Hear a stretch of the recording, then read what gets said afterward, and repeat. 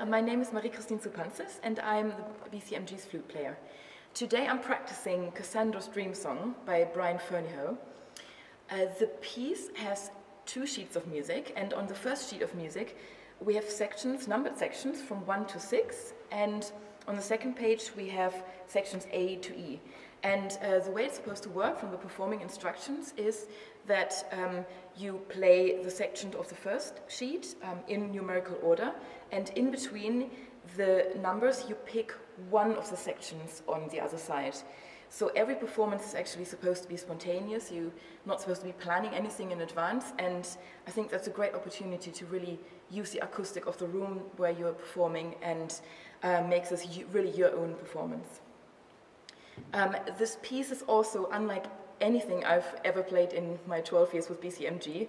It is incredibly complex. Um, a lot of the time you have many instructions for each note.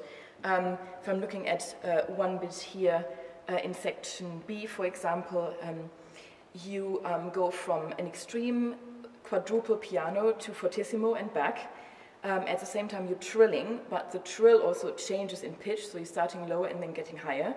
Um, also, the speed of the trill gets faster. Um, so it's, it's a bit of a challenge for the musician to actually remember all of the instructions uh, at the same time. So in this section, for example, it sounds something like this.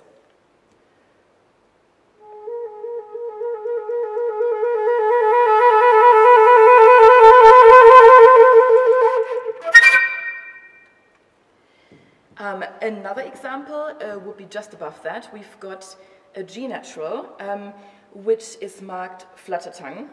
Um, a normal flutter tongue would just sound like this.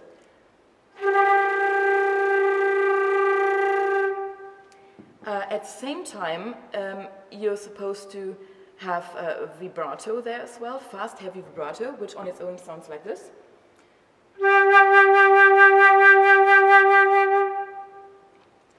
At the same time also, you're supposed to do a smorzato, which um, you don't find very often actually for the flute in contemporary music.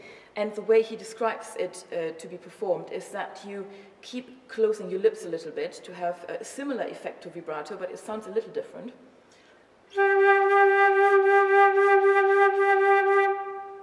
So then um, I'm supposed to be doing all three things at the same time, which I'm going to attempt now.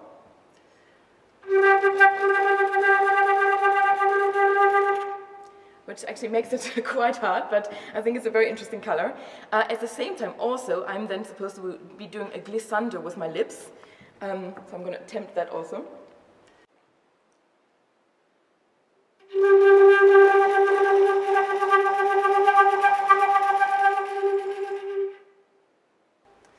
Think this is a very, very interesting effect. And um, all of the things, although it's incredibly complex actually in this piece, all of the effects really make, make a difference.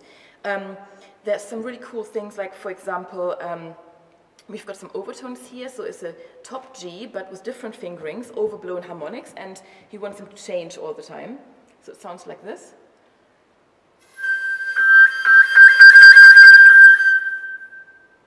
which I think is also really quite cool. Um, and then maybe going back to the first page, we've got some very interesting instructions as well. Um, like, for example, the very first line actually looks easier than some of the other sections, but I find it personally actually quite a lot harder because it's nearly all the same notes, but every note is played slightly differently. So we've got key clicks, for example, like this. And then you have um, pizzicato noises, like that which has a subtle difference. Um, but then also you're supposed to be key, doing key clicks with different keys. So I'm going to just play you the first few notes of this.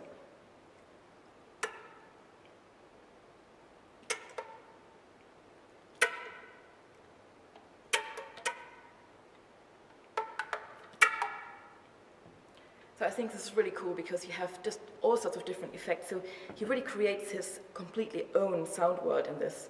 So there's one other really cool thing where you use the flute as a very percussive instrument, um, where um, it sounds like this.